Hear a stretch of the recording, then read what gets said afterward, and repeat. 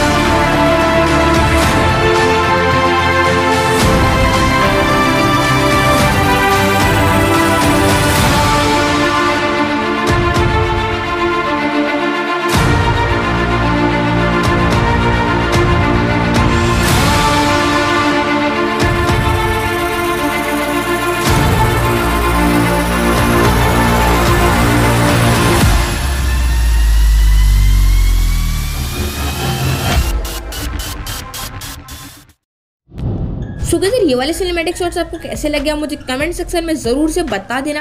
आप कैसे बारी हमारी लिंक की।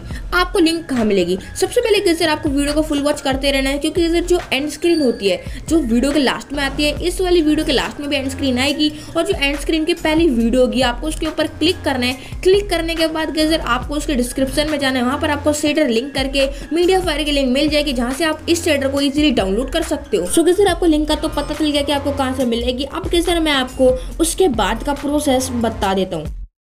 सो गैसर सबसे पहले मैंने जहाँ पर आपको बोला है, वहाँ पर से आपको गैसर इस वाले लिंक को कॉपी करना है। कॉपी करने के बाद आपको एक ब्राउज़र की ज़रूरत पड़ेगी, जिसका नाम है पफन ब्राउज़र आपको गैसर इस ब्राउज़र को सिंपली से प्ले स्टोर से डाउनलोड करना है। डाउनलोड करने के बाद इस लिंक को आपको इस वाले ब्राउज़र के अंदर कॉपी करके पेस्ट कर देना है। पेस्ट करने के बाद गैसर आपके सामने कुछ ऐसे इंटरफेस आएगा, आपको सिंपली से गैसर आप ब्लू बॉक्स पर क्लिक कर देना है, जिससे आपकी डाउनलोडिंग स्टार्ट हो जाएगी। आपके सामने ऑप्शन आएगा, आपको वैसे टॉप वाले ऑप्शन पर क्लिक कर देना है। फिर आपकी जो डाउनलोडिंग है, वो स्टार्ट हो जाएगी। फिर आपको टॉप राइट कॉर्नर में थ्री डॉट दिख रहे होंगे। आपको इन थ्री डॉट के ऊपर क्लिक करना है। क्लिक करने के बाद आपको यहाँ डाउनलोड्स में जाना है और यहाँ पर कैसे आपकी जो डाउनलोडिंग है वो स्टार्ट हो चुकी होगी। और जैसे कैसे डाउनलोडिंग कंप्लीट हो जाए आपको उसके ऊपर क्लिक करना, जिससे कैसे आप इसको ईजिली अपने माइनक्राफ्ट के अंदर इम्पोर्ट करवा सकते हो। अगर आपको ये वाली वीडियो अच्छी लगी होगी तो वीडियो को लाइक करना चैनल पर चैनल को सब्सक्राइब करके बेल नोटिफिकेशन को ऑल पर सेट करना मत भूलना। तो चलो कैसे आज की वीडियो के लिए इतना है। अगली वीडियो में गुड बाय